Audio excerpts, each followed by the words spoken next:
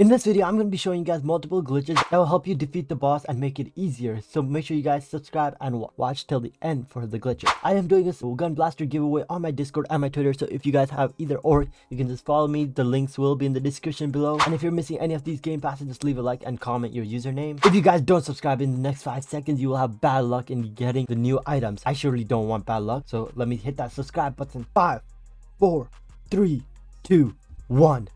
I hope you guys to hit it. Let's get right on to the video. Okay guys, we're in the thing. We have a lot of players inside the server. And I mean like almost a full server full of just pro good players. This dude already has a new emote. Oh my god, that is so sick. Look at that. Oh.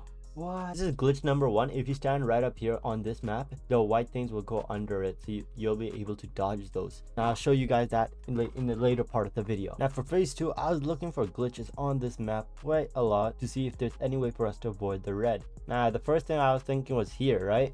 For the glitch. Bang. Oh, look. See, it's not good enough to be here.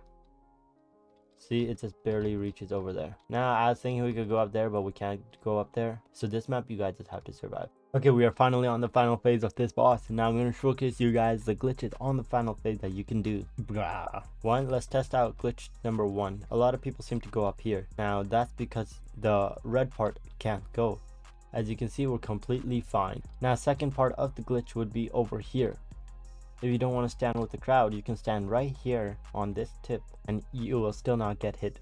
So this is for the final phase. You can use this and see, nothing, no damage. There you go. You can also stand on this part right here, but that's a little risky unless you just have that many guts. The boss is like right there. There is one more place you can stand right over there. It will not hit you. As you can see, there's players standing there as well. So there's one, two, three, four places you can stand on this map to easily beat phase one and phase two.